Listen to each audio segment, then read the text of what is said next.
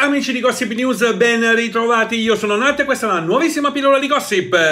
Amici miei, Sonia Bruganelli e Paolo Bonolis tra poco non vivranno più insieme. Ebbene sì, lo ha annunciato proprio l'opinionista del prossimo GF VIP, che ha svelato anche i motivi di questa scelta. Vi anticipo subito, nessuna crisi, nessun problema. Eh? Una decisione che ovviamente porterà dei cambiamenti anche per le figlie, Silvia e Adele. Ma ora vi racconto tutti i dettagli sulla vicenda. Prima di proseguire vi invito come al solito a supportare il canale mettendo un like, registratevi, cliccate, indicatevi e fate tutto quello che volete. Insomma, condividete. Sonia Bruganelli e Paolo Bonolis a breve vivranno in case separate volte, ve l'ho già detto, ve lo ripeto, lo ha rivelato proprio l'opinionista in una recente intervista al Corriere della Sera. Non c'è area di divorzio in casa Bonoli, se sia chiaro, anzi, anzi, la scelta di vivere separati, secondo Sonietta, è il segreto per mantenere vivo il matrimonio. A me mi pare una sciù... Vabbè.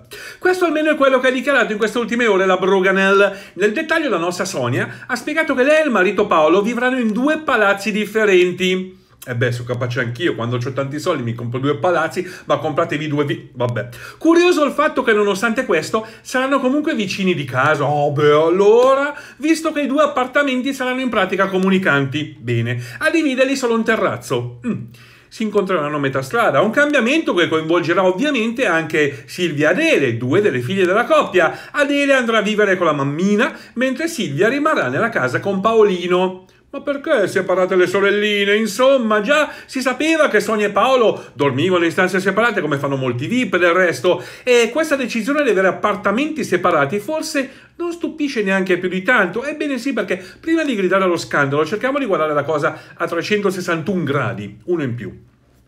A differenza delle coppie VIP scoppiate in questa calda e torrida estate 2022, non c'è bisogno che ve le ricordi, Sonia e Paolo cercano di mantenere vivo il loro matrimonio con questa scelta. Ebbene sì, Forse non tutti lo ricordano, ma i due sono sposati dal 2002, praticamente 21 anni. Per Bonolis si è trattato del secondo matrimonio, visto che in precedenza è stato sposato con l'americana Diane Zoller, dalla quale ha avuto i figli Stefano e Martina. Dal matrimonio con Sonia invece sono nati Davide, Adele e Silvia. Eh, ci dà... Mm, mm. Proprio Davide ha esordito quest'anno in Serie C, giusto per fare un po' di gossip, con la Triestina. Ora, sulla maglia ovviamente compare il nome Bonolis, il cognome Bonolis, e questo non può che fare sparlare i detrattori che accusano un ragazzo di essere un raccomandato. Vabbè, si sa che i detrattori devono sempre detrarre qualcosa. In sua difesa ovviamente è scesa in campo mamma Sonia, ah, non gli devi dire niente Sonietta, eh. sono note anche le problematiche dell'altra figlia Silvia che soffre sin dalla nascita di disabilità motoria e cardiopatia. Ebbene Silvia che ora ha 19 anni sta imparando ad essere autosufficiente, per questo mammina Sonia la sta facendo lavorare nella sua azienda, la SDL, facendole fare fotocopie, le foto per le schede dei candidati, insomma la mantiene impegnata e fa bene secondo me. Intanto, intanto, comunque giusto per rimanere in discorso, a breve la nostra Sonietta, una cosa che nessuno di voi sa, siederà ancora nella poltrona di opinionista al GF VIP. Ma va, non l'avrei mai detto, guarda, questa volta accanto a Orietta Berti. Proprio riferendosi alla cantante, la Bruganel non ha nascosto la sua ammirazione e la sua stima per l'Oriettone nazionale. Questa nuova experience per Sonia sarà sicuramente diversa rispetto a quella dell'anno scorso, dove non erano mancate le frizioni che ve lo dico a fa con Adriana Volpe, The Fox. La Bruganelli ricorda ancora il litigio con Signorini avvenuto in diretta TV, ma ce lo ricordiamo tutti. Un classico esempio di TV. Uh, eh, uno scontro che paradossalmente li ha avvicinati di più. Mm se lo dice lei. In quell'occasione proprio Sonietta ha scoperto quel buon Alfonsino. Dietro la maschera da eccentrico e spietato nasconde invece un lato tenerone, un patatone, un pacioccone, un trottolino amoroso. Insomma, forse non tutti lo ricordano, ma nel 2009 Sonia è stata opinionista anche alla Fattoria, allora condotto da Paola Perego. Ebbene, ebbene, non fu un'esperienza felice per la moglie di Bonolis, questo a detta sua. All'epoca era giovane e non poteva permettersi di dire ciò che voleva le erano imposti molti paletti e gran parte del pubblico non la reputava credibile. E beh, eh, insomma, coi paletti non può essere te stesso. Insomma, tutto il contrario di quello che è accaduto al GF VIP 6. Bene.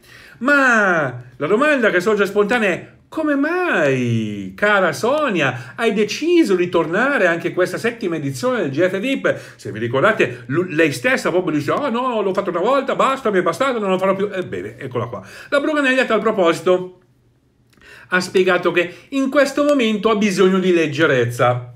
Non mi sembra una risposta plausibile, almeno secondo me. Comunque fate vobis.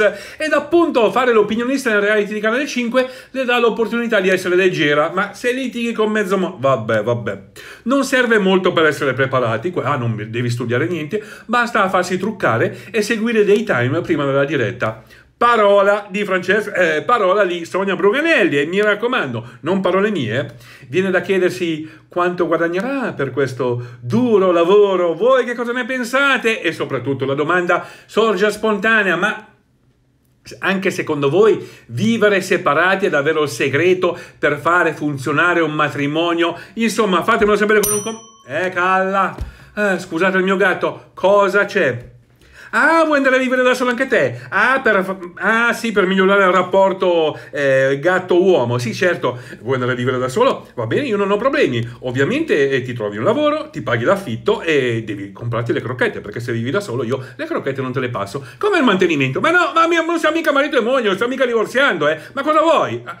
Ah no, ti devo mantenere, però te ti fai i cavoli di, di Bruxelles tua. Ah, interessante. E magari vorresti anche, non so, un attico, ehm, non so, in una città d'arte magari, eh. Ah, interessante. Guarda, sta a sentire torna subito a casa, se no stasera niente crocchette. E poi comunque scusa, sto facendo un video, fammelo finire. Ciao, ciao, ciao, mia, mia, mia, mia. Mm. Hai capito? Si allargano questi gatti, eh? Adesso voglio andare a vivere da solo. Vabbè, vabbè. Lo so, era un po' fuori argomento. Comunque, raga, fatemi sapere che cosa ne pensate. Ma anche se secondo voi questo fatto, io posso, far, posso capire il fatto di dormire in stanze separate perché magari sì, marito e moglie hanno abitudini diverse, no? Come l'ha detto anche la Maria De Filippi col Costanzo. No? Costanzo sta tutta la notte a guardare la tele e la Maria non riesce a dormire, quindi deve stare in una stanza a parte. O magari c'è il marito che russa, c'è il moglie che russa, ed è cose che capitano, adesso vedo anch'io, eh, però addirittura in due appartamenti separati, a parte il fatto che deve avere un sacco di sgay, perché due appartamenti costano il doppio praticamente. Non è two is male che one no no two is dop che one e insomma. Eh, non so a me sembra una mincata colossale. Comunque oh contenti loro alla fine. Chi siamo noi per dirgli fai bene fai male? Devono star bene loro. Comunque io sto bene a vivere con la mia moglietta. Comunque vai, vai. fatemi sapere qui sotto nei commenti che cosa ne pensate a tal proposito. Mi raccomando commentate come se non ci fosse domani per il resto che dirvi? Mettete un bel like registratevi al canale cliccate cliccate e condividete ci vediamo alla prossima, ciao bedazzi!